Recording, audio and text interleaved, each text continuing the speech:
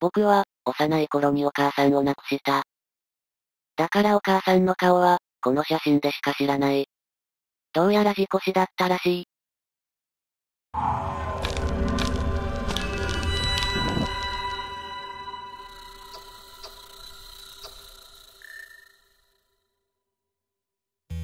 男で一つで俺を育ててくれた父も、一年前病に倒れ、最近亡くなってしまった。お父さんの遺品の整理って、なんだか不思議な気持ちになるな。あ、なんか本がいっぱいある。もしかしてこれ全部俺が片付けるのか。どんな本読んでるんだろちょっと漁ってみてもいいかな。どれどれ、息子が父の偉大な本を継承してやろうではないか。なになに抱かれたい男1位に脅されています。なにこれじゃあこれは、やりちんビッチブなんか見ちゃいけないような本な気がする。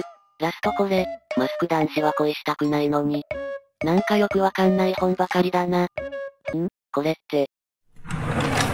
うわぁ、めっちゃ古そうなカメラ出てきたんだけど、フィルム式の一眼レフカメラか。お父さん、なんでこんなの持ってるんだろ。おばに聞くと、どうやら父は写真が趣味だったらしい。あまりに僕が興味を示すから、写真の才能があると、父はフィルムを入れたままのカメラを僕に与えたらしいが、記憶には全くない。でも、あんたはそのカメラを急に嘘みたいに触らなくなったのよ。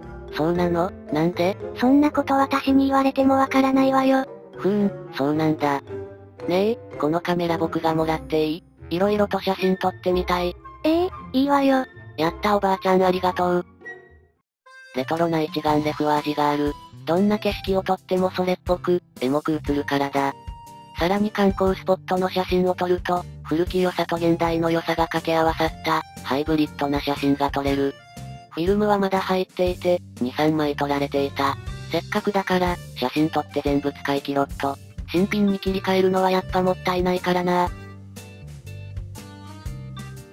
確か近くに写真を現像してくれるお店があったはずだから、そこで昔撮った写真も見てみよう。何撮ったか全く覚えてないから、僕がまだ3歳とかの時とかかな。どんな写真撮ったんだろう。はい、写真現像できましたよ。おお、ありがとうございます。早速写真見てみますね。ふふ、どんな写真が写ってるのかなん？何これ、ピントがずれてて何も見えないや。その写真は全体的に、黄色とも茶色とも言えない色をしていた。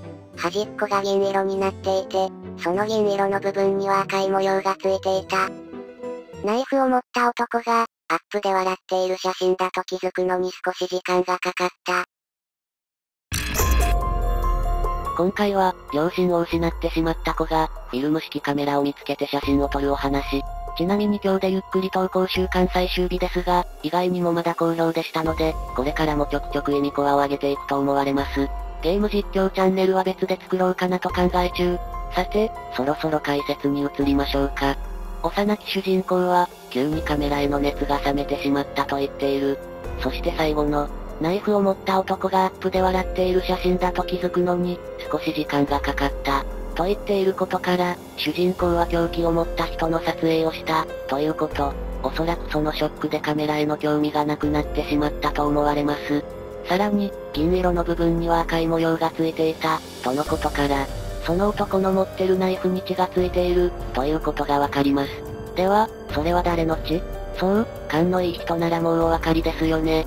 動画の冒頭で出てきたお母さんは、事故死だと聞いていると言っていましたが、もしそれが嘘だとしたら、この写真は、父が母を殺している写真なのかもしれない。父が母を殺す姿をわざと息子に撮らせていたということになりますね。しかも満面な笑顔で。